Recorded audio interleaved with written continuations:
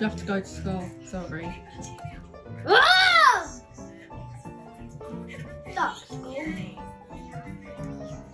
I went to school. No reason.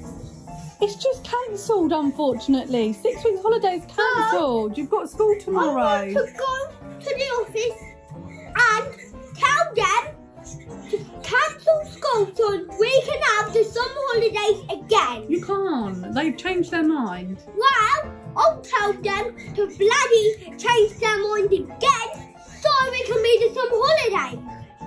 Why are you so angry? It's because they're bloody trying to make me go to school when, when I don't want to when it's the summer holidays. It's cancelled. That's it. You got school in the morning. Yay! Not yay. I'm sleeping to bed all day. You've got to go to school. Well, I'll, I'll just stop where I am. What? I'll just stop where I am. You have. I have to take you to school in the morning. No, you can't. Oh, I. I have to. No, you can't. I'm not letting this happen. You haven't got a choice.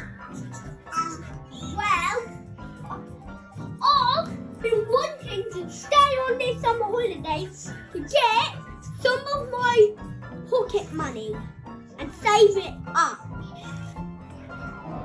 You have to go to school. Sorry. Ah!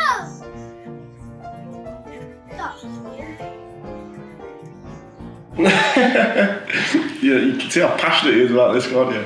I mean, when you're that age, I mean, any age really, from what, 3 to 14, 15, the summer holidays are the, you know, the main part of the year, the peak of the year, I should say. And, you know, when you get a bit older, you realise six weeks isn't actually that long. But back when you're that age, it feels like years and years and years. And, you know, it really is, you know, the best time when you're a kid, really. You get six weeks off.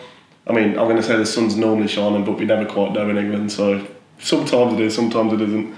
But uh, he's probably been looking forward to that for months. You know, all them maths lessons and the science lessons and the English lessons. He's thinking, you know, soon I'll be sat on the sofa till one o'clock and I can do what I want when I want, play football, do whatever.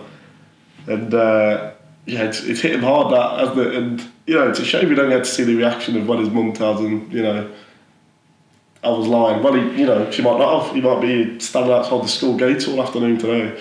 But uh, very funny, and he's he's got a real bit of character about him, and you know, he's really passionate about it. You know, very funny, and you know, hopefully, I mean, they, they started Monday the summer holidays, so you know, hopefully he's been told, and you know, he's he's enjoying himself some way because the way he's talking now, it was like the end of the world if he didn't get to have them.